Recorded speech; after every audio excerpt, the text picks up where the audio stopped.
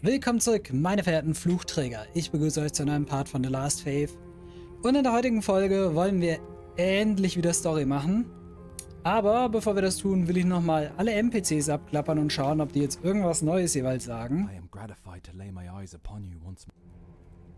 Uh, okay, er hat nichts Neues. Weil ich kann mir nämlich vorstellen, dass wir jetzt inzwischen in der Lage wären, einige Quests abzuschließen mit den Items, die ich gefunden habe. We cross paths once more. What do I owe the pleasure? Uh, ah, hier den Folianten von Eusak übergeben. Ah, yes. The text written in this tome is one of rare origin. There is more to find, but is far below the floors of a sacred place. A wet, dank chamber. Ah, das ist die Krypt. I will learn what I must to cross myself. The light of Ilaris will illuminate the path to salvation. Kosmisches Echo. Uh, das ist eine Bloodborne-Referenz. Man flüstert von den Töchtern der Nachtflut und ihren Gebräuchen. Ein kleiner gefrorener Kadaver, der mit Sternstaub durchtränkt ist. Es gibt nur noch wenige Zeugen, die von einer solchen Schöpfung berichten, die am Himmel entfesselt wurden. Nur die fähigsten Gelehrten können die geheime Methode dieser Kombination entschlüsseln, die von denen, die ihre Macht fürchten, geächtet wird. Und damit haben wir Aldrichs Aufgabe abgeschlossen, wie es aussieht. Ähm, was möchte mir meine rechte Hand hier sagen? Hä? Ich glaube, das ist ein bisschen verbuggt.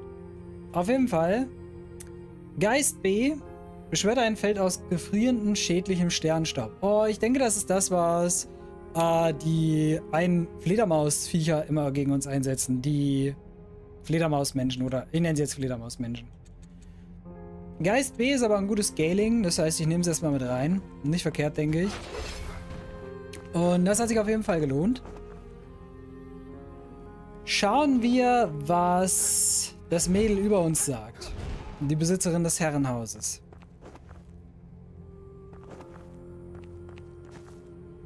Getrocknete Leber übergeben. Es war doch das, was wir gefunden haben.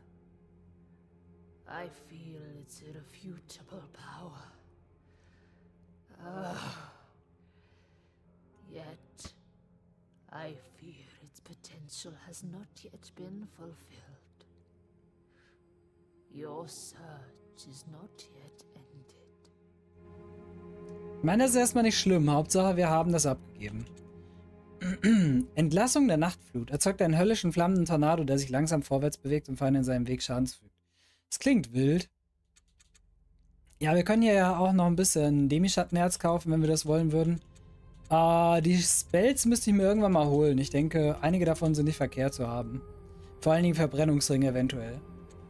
Wobei die haben C-Scaling in Instinkt und nur einen D in Geist. Ja, egal. Auf jeden Fall, wir haben ja noch ein bisschen was zu erledigen, denke ich. Schauen wir jetzt auf die andere Seite.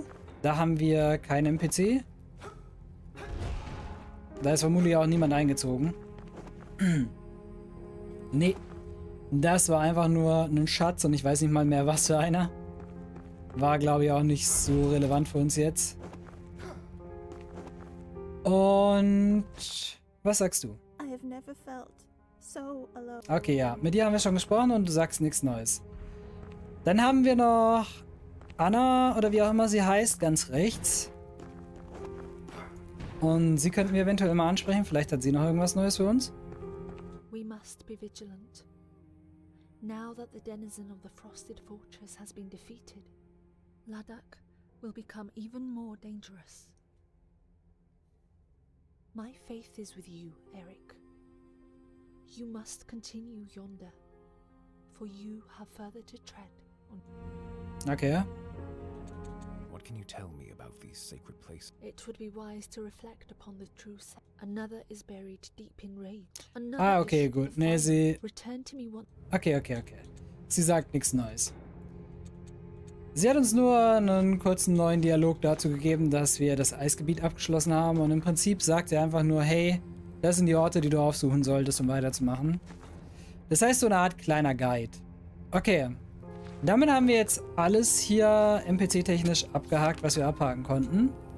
Und dann bleibt uns nur noch zurück zu ja, den oberen Bezirk und Katharinas Kirche zu gehen. Gehen wir als erstes hier hin. Ich denke, sie wird vielleicht was Neues zu sagen haben. I am gratified to see you have returned to me. Your sense of duty is a fine trait to be admired. Find the celestial way. The light of Alaris will guide you to salvation. Nach den Sepulchri fragen, ich glaube, das hatten wir schon mal gemacht. Pray, tell me more. You must not utter so freely about a Ja, das hatten wir schon mal. Okay, okay. So, hier oben können wir jetzt lang. Werde ich auch gleich gehen. Aber ich möchte erst kurz diesen... Uh. Na, aber da sage ich ja nicht Nein zu. Gefängnis. Ist das, was ich denke, dass es ist? Gefängnis wäre der Schlüssel. Ein Besitz, von dem man sagt, dass er von geheimnisvollen Seelen genutzt wird. Der Träger dieses Schlüssels soll den Ort betreten, von dem das himmlische Geflüster kommt und das Tor zwischen knorrigen, knorrigen uralten Pflanzen. Man spricht von einer seltsamen Präsenz, die eine verfolgten und verwirrt, äh, die einen verfolgt und verwirrt. Gott. Die Verwände, in denen sie nachdenkt, sind seine Zuflucht. Ah, von dem, wie die Beschreibung ist, weiß ich nicht, ob es das ist, was ich denke, dass es ist. Weil mein Gedanke ist natürlich, dass wir jetzt zurück in die Kathedrale gehen können. Ich würde es gerne einmal ausprobieren. Bin ich ehrlich. Ich meine, ich muss sowieso hier auf die andere Seite. Da kann ich auch ganz kurz der Kathedrale eine Stippvisite geben. Und ich denke, das sollten wir tun. Und danach bleibt uns sowieso nichts anderes übrig, als die hohe Mauer jetzt anzugreifen. Das heißt, einmal ganz zurück zur Kapelle, nicht Kathedrale. Ganz zurück zum Anfang und wir schauen, ob ich jetzt richtig liege. Das ist jetzt hoffentlich endlich das Item, was wir wollten. Na, dich nicht. Dich kann ich so nicht öffnen. Es ist es! Leute, wir können es endlich erkunden. Demi-Schattenherz übrigens. Oh mein Gott, es hat lang gedauert. Wir können endlich den Anfang erkunden. Das klingt so dumm, aber wir können endlich den Anfang erkunden. Vor allen Dingen, der ist auch sehr perfide versteckt, muss man sagen, der Schlüssel. Uff, du bist tanky. Niederträchtiger Geistlicher. Ja, soviel dazu. Ähm, Thema Story fortsetzen und so. Ich glaube, das hat sich erstmal erledigt. Kathedralenpriester. Weil, sorry Leute, aber Mondsilbersteinerz. Äh, Mondsilberstein meine ich. Aber das hier hat für mich gerade höchste Priorität. Ich wollte so lange diesen Part des Gebiets erkunden und jetzt haben wir endlich die Möglichkeit. Deshalb muss es doch noch einen weiteren Part warten, bis wir in der Story weitermachen können. Demioxidkugeln. Nutzlos für mich, da ich sowieso nicht so wirklich Feuerwaffen spiele. Was bist du denn? Oh mein Gott. Nein, ich will runter. Lässt sich nicht öffnen.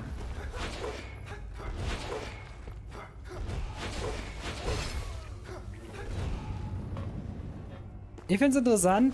Ich habe damit gerechnet, dass es so ein bisschen wie Undead Asylum von Dark Souls wird. Das heißt, man bekommt spät das Item, um dahin zu gehen.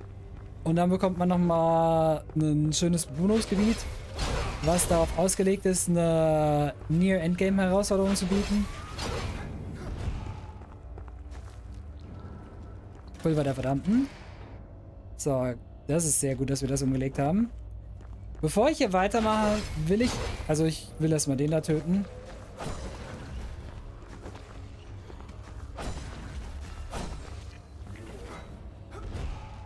Deine Reichweite und dein Angriff sind sehr perfide, muss ich gestehen. Und ich mache dir viel zu wenig Schaden mit meinem Blutkatana. Oh Gott. Und mein Damage ist auch enorm. Egal, ich face-tanke dich jetzt und besiege dich auf diese Art und Weise. Riese des Sakraments. Ich gehe jetzt nochmal in die unteren Pfade. Weil ich glaube, dass hier links ist... Ne, wartet. Ne, wartet, ne, wartet. Links ist höchstwahrscheinlich optional und unten geht es da weiter, weil das kann ich mir gut vorstellen, dass man den Anfang des Spiels damit verknüpfen würde, diesen Schlüssel zu finden. Also machen wir erst hier weiter. Das schreit Boss Arena. Das ist halt Boss-Arena. Nevermind, das ist keine Boss-Arena. Was bist du denn?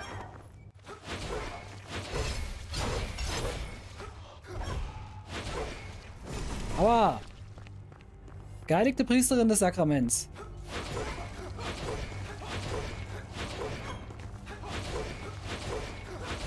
Ich habe das Gefühl, ich sollte hier auch noch gar nicht sein. So, zumindest vom Damage-Output, den ich gebe. Ich werde es vielleicht noch nicht ganz erkunden, das Gebiet, sondern ja, werde einmal kurz hier reinschnuppern, soweit es geht. So wie jetzt. Weil mein Damage Output fühlt sich nicht ganz richtig an, muss ich gestehen. Er fühlt sich nicht so ganz an, wie er sollte. Äh, gehen wir zurück zum Anfang. Und gehen in den unteren Abschnitt. Und danach gehe ich zurück. Also auf die Mauer. Das ist mein Plan. Aber ich weiß zumindest, ich habe für später definitiv etwas Schönes, was ich hier machen kann. Wie hier drin ist nichts. Wie die Tür ist komplett nutzlos verschlossen gewesen. The heck?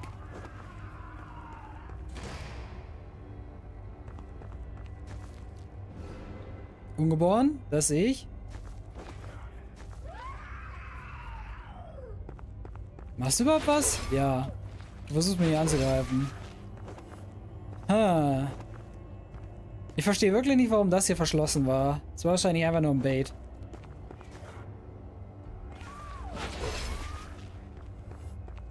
Hm.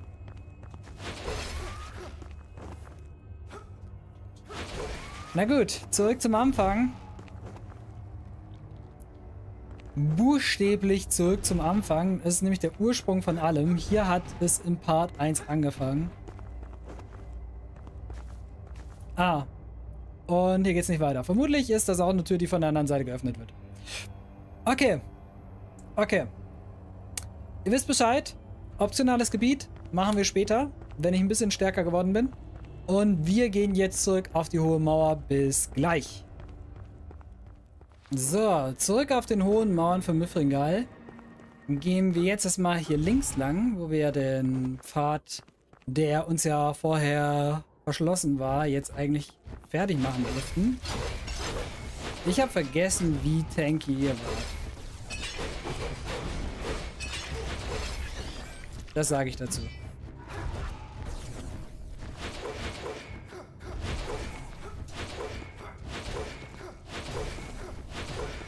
Gott, ist das nervig.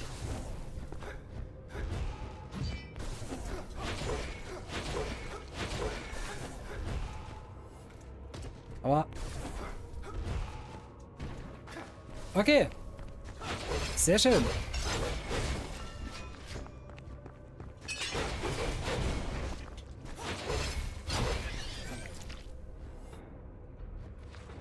Dann kann ich das auch entfernen.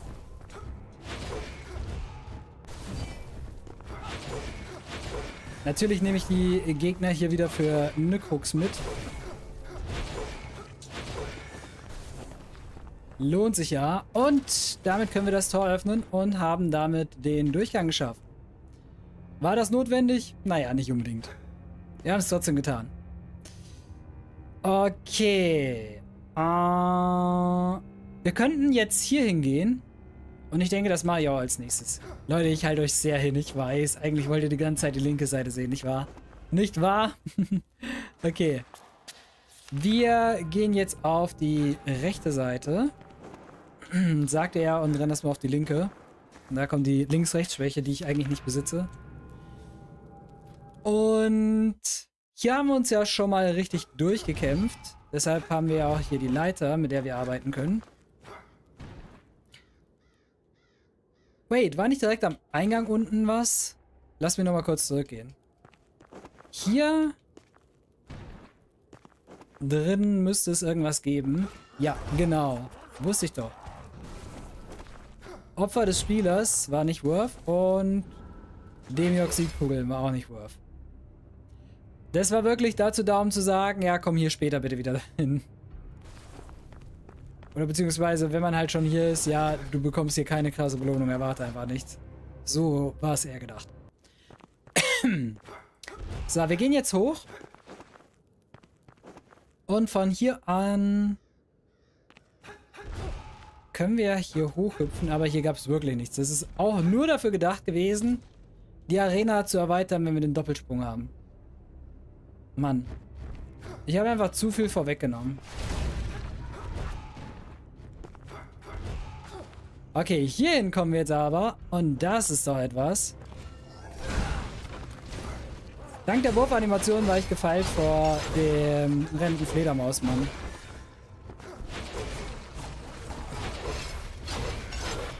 Aber so viel dazu.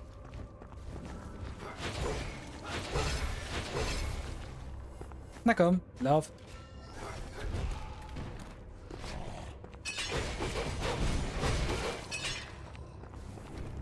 Mein Webmarz ist sehr gut geeignet für den, wie es aussieht.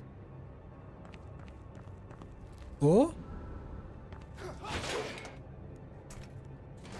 Okay. Okay, okay. Was haben wir da unten jetzt? Die Tür, die wir vorher nicht betreten konnten, ist jetzt offen. Ich habe die komplett vergessen übrigens. Wenn die nicht rot eingezeichnet gewesen wäre, wäre ich da auch als erstes hingegangen.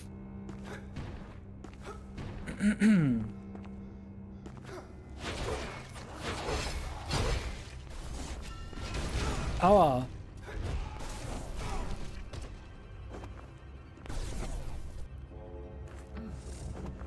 Ah ja, hier gibt es irgendeine Form von Arena oder Bosskampf. Da bin ich mal gespannt, was uns da jetzt erwartet. Erstmal gehen wir hier runter, würde ich sagen, weil es offensichtlich wohl... Hey, Odeck!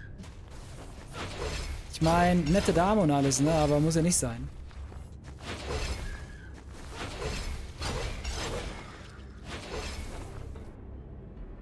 So. Huste noch einmal, jawohl. Und jetzt gehen wir runter. Oh, come on! Ich hasse es, wenn Gegner einen sofort angreifen, sobald man irgendwas betritt. So dass man nicht mal wirklich die Chance hat, auszuweichen.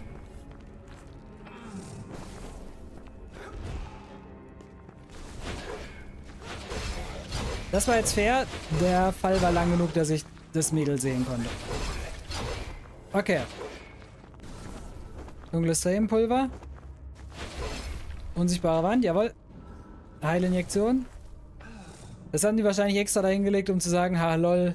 Ja, offensichtlich gibt es hier mehr als das, du Idiot. Ah, nein. Hier kommt mein Rennpriester wieder.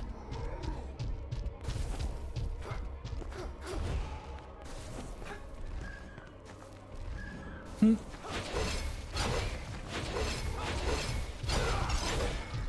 Ah, ich hätte mir die Todesanimation ansehen müssen. Okay, hier können wir problemlos an ihn vorbeilaufen. Aber, sagte er und wird trotzdem getroffen. Er macht mir Half-Life mit seinen dummen Gerennen. Das ist ziemlich fies.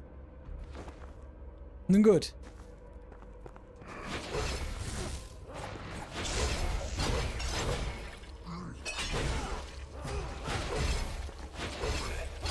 Okay, okay.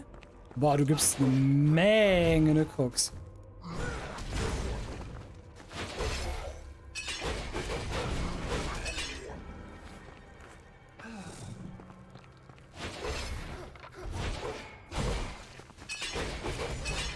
Ah, das war nicht ganz geplant. Eigentlich wollte ich beide mit dem Webmart angreifen, aber das hat nicht so funktioniert wie sollte. Wie? Das ist keine unsichtbare Wand. Was? Egal. Brief eines Stadtbewohners. Eine seltsame Aura, die nicht von dieser sterblichen Welt stammt, betäubt, soweit das Auge sehen kann.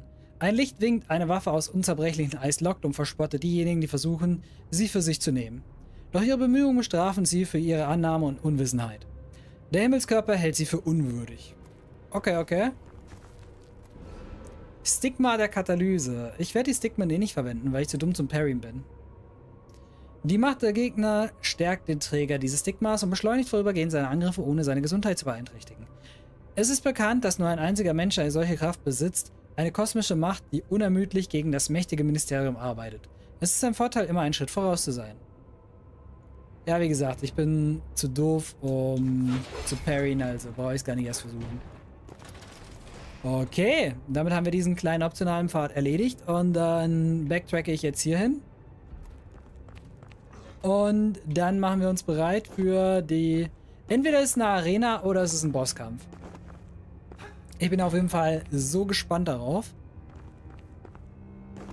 Also, ich weiß, Progression sieht anders aus, weil ich halt sehr viel Optionales in den letzten Parts gemacht habe. Aber ich persönlich würde es so, wie ich jetzt mein Empfinden deuten würde, schon als Progression empfinden. Und vor allen Dingen macht es mir eine Menge Spaß, mit dem Doppelsprung jetzt all die alten Gebiete abzuklappern. Aber das habe ich ja schon mal gesagt, dass das für mich eine der Selling Points von Metroidvanias ist. Okay. Es ist eine Arena. Okay. Wenn es nur das ist.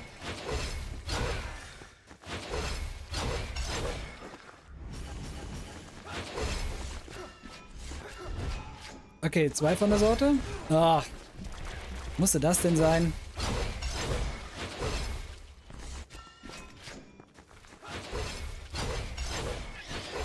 Ich meine, ihr seid so gesehen kein Problem, solange ich Fläche zum Ausweichen habe.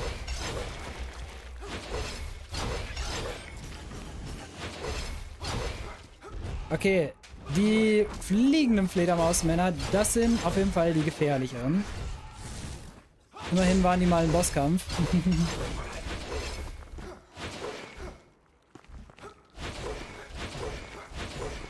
Aua. Hab mich wirklich noch getroffen. Oh, das war's schon. Zweimal Mondsilberstein, okay. Da ist einfach hinter der Arena noch ein normaler Boss, äh, Gegner. Nicht Boss. Okay, erlegt.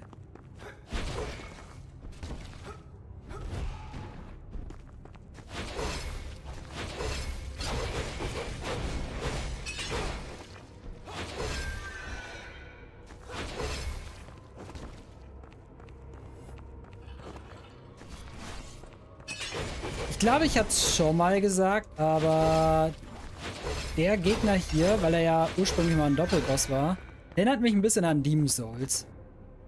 In Demon Souls gibt es einen Gegner, der relativ ähnlich zu dem aussieht. Und, na, wobei ähnlich ist falsch gesagt. Aber der sich ein bisschen was teilt, was das Angriffspattern und so betrifft. Und ja, daran bin ich immer erinnert. Ich bin verlockt, hier einfach mal runter zu springen. Ja, ich wollte nämlich nur schauen, ob es hier unten noch irgendwelche Sachen gibt, auf denen man landen kann. Aber gut, damit haben wir das. Immerhin war der Altar direkt in der Nähe. Das heißt, ich kann meinen Nukrux auch sofort wieder mitnehmen. Kein Problem an der Front. Und da wir auch zeitlich gut dabei sind, weiß ich nicht, will ich vielleicht noch mal auf die andere Seite schauen? Ah, lass mich noch mal lunsen. Oh? Das sieht einfach aus wie Mifringal selber. Injektion.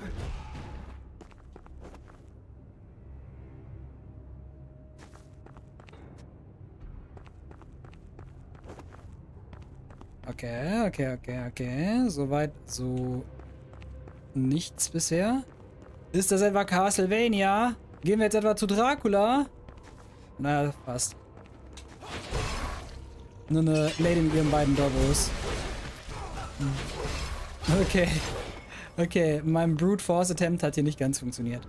Demi-Schattenerz. Von dieser Seite lässt sich das nicht öffnen.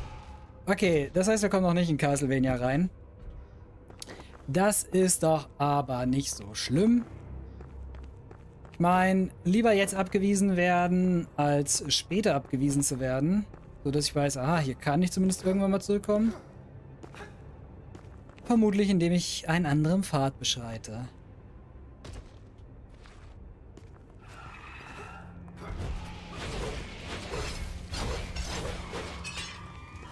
Lässt sich nicht öffnen. Okay, dafür brauche ich vermutlich einen Schlüssel, wenn es die Meldung gibt. Na komm. Vroom, vroom.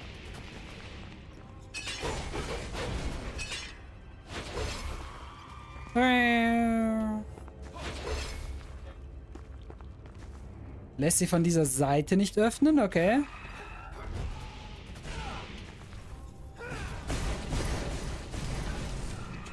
Ah, verdammt. Das war nicht ganz intended. Aber gut.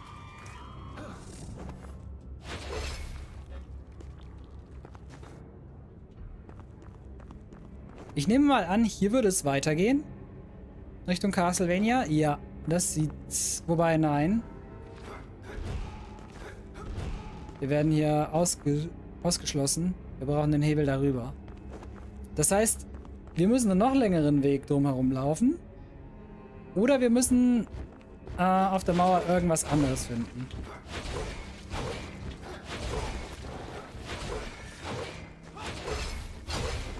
Weil immerhin war ja eine Tür verschlossen im Sinne von, wir brauchen Schlüssel. Der Rest war ja, lässt sich von dieser Seite nicht öffnen. Okay, komm her. Jawoll. Ah, ich will den Part nicht beenden. Ich will weiterspielen. Aber ich muss auch langsam.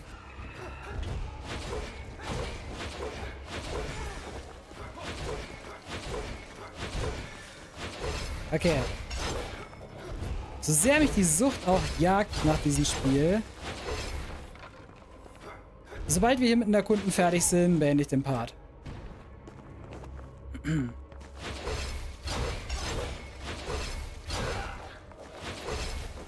Gott, mein Nückrux wächst und wächst. Ja, hier, jawoll. Ich wollte nämlich gerade nach unsichtbaren Wänden fragen. Und was haben wir da Schönes? Wir gehen erstmal dahin. Notiz eines Mithringal-Anwohners. Man munkelt, dass sie unerbittlich sind, zwei gegensätzliche Seiten, aber ein gemeinsamer Wunsch, zu herrschen. Trotz der Verwüstungen, die sie anrichten, bleiben sie im Verborgenen. Sie schart Anhänger um sich, Frauen, die mit einem Ziel durch die Lande ziehen, Sabotage. Er erholt sich, sammelt seine Kräfte bei den Unschuldigen und zieht diejenigen an, die sich ihm widersetzen, um seine Sache zu unterstützen. Verstehe. Und hier gibt es ein weiteres Ungeborenes. Jawoll. Ich bin mal gespannt, was wir bekommen, wenn wir fertig sind, weil wir haben ja fast alle. Lady. Und schön. Uh, Sie hat einfach einen Invincible Frame gehabt. Also iFrame. Na. Das war sehr witzig.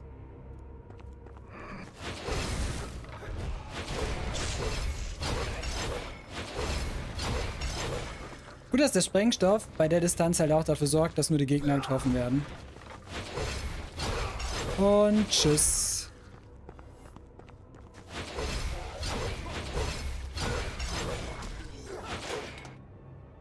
Ah. Ah, okay. Also brauchst du mir keinen Schlüssel, sondern einen Schalter. Und er wie like, ähm, ja, warte, warte, ich, ich lass es erstmal machen hier, mein Freund. Okay. Wo kommen wir da jetzt hin? Natürlich hier hin. Oh, wait, wir fahren sogar höher.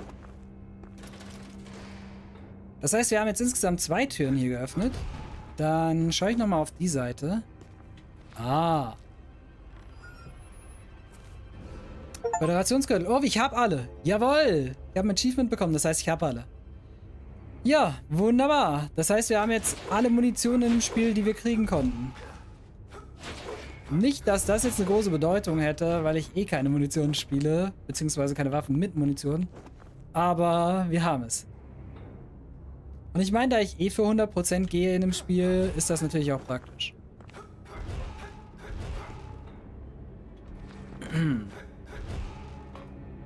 Okay.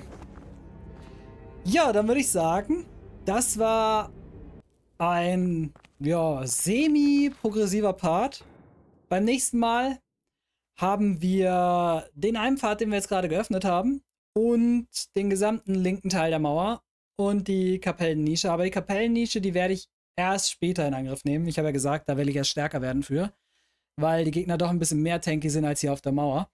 Und das heißt, das hier ist jetzt unser nächstes richtiges Ziel. Ich setze hier einfach mal ein Fragezeichen hin und mir das beim nächsten Mal aufnehmen, dass mir das nicht entgeht. Und hier genauso. Wenn ich da irgendwie... Ja, okay. So, damit weiß ich dann hoffentlich Bescheid und wir sehen uns dann beim nächsten Mal wieder. Bis dahin, macht's gut.